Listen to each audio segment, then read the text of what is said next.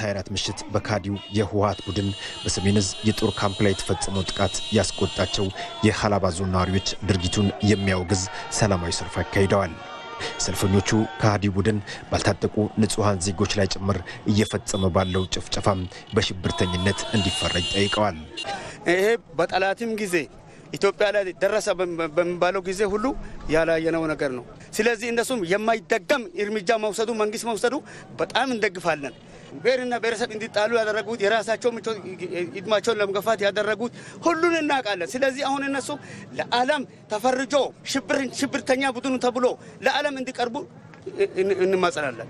ባለፉት 27 ዓመታት ኢትዮጵያ ውስጥ ለሰሩት ወንጀል አልተጠየቁም፣ ለህግ አልቀርቡም። ስለዚህ ይሄን ጭምር ለኢትዮጵያ ሕዝብ ፊት በአደባባይ ቀርቦ ፍትህ ማግኘት አለባቸው የሚል የግሌ መስጠትም ጭምር ስለሆነ ነው። ያት ቡድን ይሄ ጊዜ ሊሰጠው የማይገባ ተግባር ነው። መንግስት እየወሰደ ላለው የትኛውም አይነት የህግ ማስከበር ስራ እኛም ከጎን ሆነን ለመንግስት አስፈላጊውን ድጋፍ የምንሰጥ መሆኑን ለማረጋገጥ ድርጊቱን አምርረው ያወገዙት ሰልፈኞቹ የተጀመረው ህግ ማስከበር ስራን በመደገፍም ከመንግስት ጎን እንደሚቆሙ አረጋግጠዋል።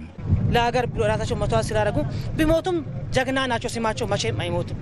ኢትዮጵያን አሁንም ጀግና እንወልዳለን። እነዚህን ግን አውሬዎቹን የናጡት ነካሾቹ ሳሎን እና ጓዳ አድሮ መኝታ ቤት ገብቶ ወንድማቸው የሚገሉ የሚበሉት አውሬዎችን መንግስት እርምጃ መውሰድ አለበት። እኛ ባለንም አሁንም ከጎኑ ነን፣ ነገም ዛሬም ከጎኑ ነን። ማንኛውን ነገር በአቅማችን ገበሬ መሆን ከጓራችን፣ ነጋዴ መሆን ከኪሳችን ከጎኑ ነን እንላለን። ለውጡን ለማደናቀፍና ሀገሪቱን ወደ ትርምስ ለማስገባት ለሚጥሩ ከሃዲዎች የሀላባ ህዝብ ቦታ እንደሌለው የገለጹት ደግሞ የዞኑ ዋና አስተዳዳሪ ዶክተር መሐመድ ኑርዬ ህብረተሰቡ አካባቢውን በንቃት በመጠበቅ ለማንኛውም ሀገራዊ ጥሪ ምላሽ ለመስጠት ዝግጁ እንዲሆን አሳስበዋል።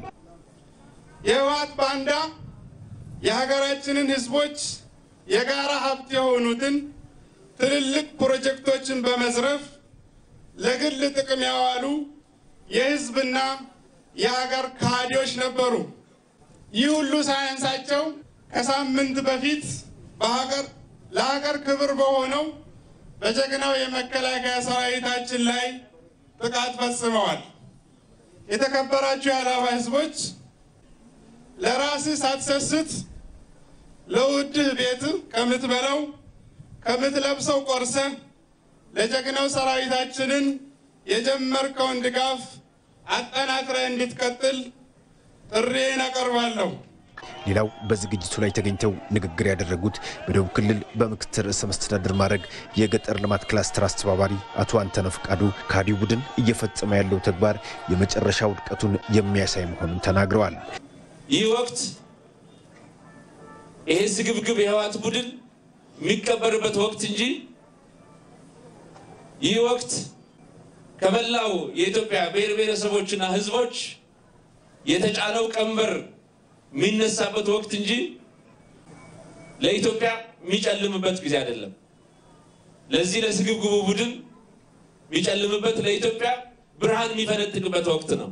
በሰልፉ ላይም ከሁሉም የዞን ወረዳዎች የተውጣጡ የህብረተሰብ ክፍሎች የተሳተፉ ሲሆን 255 ሰንጋዎች፣ 36 በግና ፍየልን ጨምሮ በገንዘብ 6 ሚሊዮን ብር ለሰራዊቱ ድጋፍ ተደርጓል። ለኢቲቪ ለተጠናቀረው ዘገባ ሚካኤል ገዙ ሀላባ